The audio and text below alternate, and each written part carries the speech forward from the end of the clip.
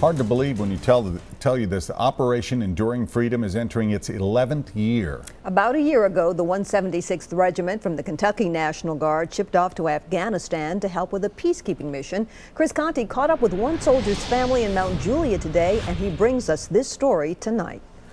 Isabella, come on, let's play. Alex Frost's biggest concern at recess should be about tag. You go down the yellow slide, I go down the pool. This is Her oldest sister Taylor's biggest concern at lunch should be about gossip. It's kind of hard to hear everyone because everyone's yelling at each other, but it's fun. That's the way things should be. Corn dog, salad, and cheesy broccoli. This is the way they are. He's at Afghanistan. What's he doing? Working. Alex's dad, Sergeant Seth Frost, was deployed to Afghanistan on September 11th, one year ago. I think about him like every single day.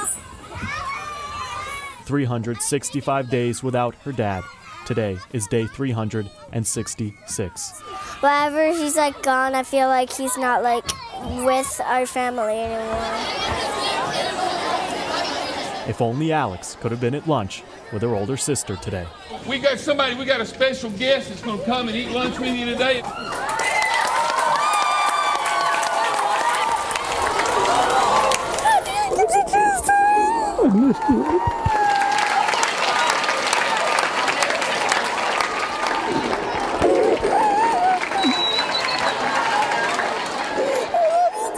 I love you too, man. I'm just glad you're not taller than me. We could end this story right here. The last time I saw him when I was three.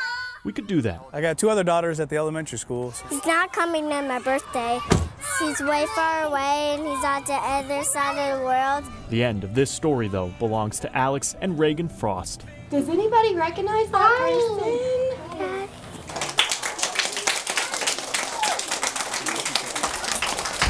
Reagan was about to cry when you come home.